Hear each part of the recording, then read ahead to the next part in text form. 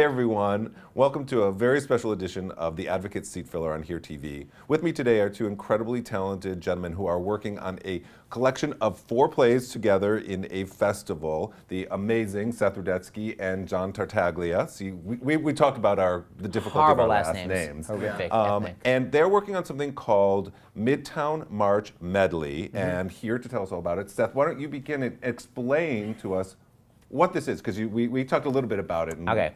Me and my husband, James, we got married. Work. We each wrote two plays. And since no one was clamoring to produce them, and one of them actually stars our kid, Julie, and she's getting older and begank, we're like, we gotta put her in a damn show Thanks, ASAP. Dad. 100%. So we literally decided to just produce it ourselves. So we're producing all four plays. We rented a theater for one month, and we're running all four plays in rep. Now, people keep coming up to me being like, I'm gonna see all four in one night. I'm like, it's four full length plays. So it's four different performances. John is starring in one, Art and Science. I'm starring in two, James is starring in one. So it's literally, it's a family affair. It's all of our friends.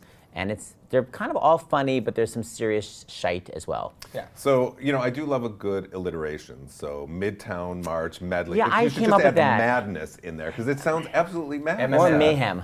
You decided with your husband, mm-hmm. James, to actually produce this. Rent now, theater. why?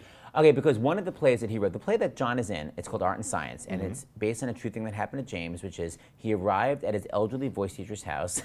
he walked like this, um, and this old guy that he took lessons with, and the guy had a stroke like four hours before. Wow. And James stayed with him for around 36 hours, trying to convince him to go to the hospital, and the guy would not go because he's a Christian scientist. Oh. So James dramatized this whole play. So we thought a very big theater company in New York was going to do it last year, and the last second they passed. I will not say what it is, but they're very big, and they passed. Devastated. So we said, you know what? It takes place in an apartment. Let's do an environmental version of it. Let's just like get a really cool apartment. Zoe Caldwell does something like this, and get the New York Times to come be an apartment, and we'll put in art and science.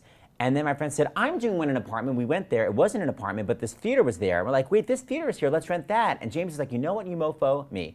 I've been writing this play for two years and I finished the first act. He's like, why don't you finish the effing second act? This will force you to finish it if we rent this theater and you do your play too. And I was like, well, James, why don't you do your other family drama that's supposed to star Julie? She's getting bazongas and she won't be able to play 12 year So literally, it just all began to flow and we just rented it for the month of March and we're doing all four plays. That's how it kind of transpired. And how did you sort of pull it all together? I mean, how long did it take you? It's a nightmare. It's a complete nightmare. Like It so is. many things keep coming up that we beyond had no idea about. But we started doing it probably two months ago. The biggest horrifying mistake is that I was like, I'm gonna be that real kind of actor. I'm not gonna pre-memorize my lines. As I rehearse, I'm going to memorize Oh. my lines that without realizing that we limited our rehearsal period to like a week and a half. That's all we have to, yeah. So suddenly, I literally, my birthday was last week. I could not sleep because I was just like, I can't do this. I can't. I mean, it's. I mean, it's, so that's been the biggest nightmare. And We've all had that panic attack during rehearsals, like where it's been like, I can't do this. I, you should fire me. Like, Yeah, because literally. It's, because it's like you know, you're, we're used to the like the three to four, sometimes six week rehearsal process where you have And then like I'll get there,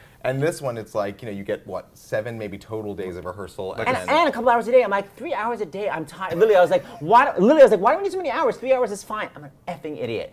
And this one didn't even write it. At least I wrote my own. But Right, you were you- like just memorizing. yeah, like totally. And it's me and Tony Sheldon from Priscilla Queen of the Desert, who's unbelievably be- uh, he's brilliant, good actor. And I was so intimidated because I'm like Tony's like amazing, Yeah, and, he's- and he is he so is respected. amazing. And I was so relieved to come into rehearsal the first day. I was like, I have to be. I'm an awful actor. I was like, I haven't memorized a thing. He goes, Oh, darling, me neither. I was like, Yes.